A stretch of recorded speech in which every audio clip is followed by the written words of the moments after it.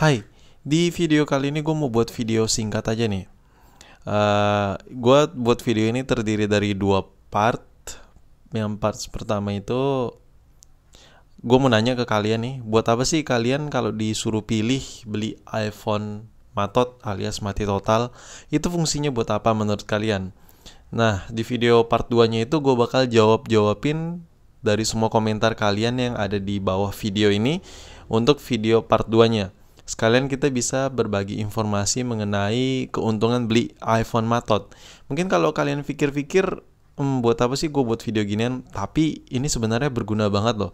Kalau ini bisa di-share ke banyak orang, bakal menguntungkan sekali uh, berbagai macam triknya, informasi yang bisa kita saling berbagi.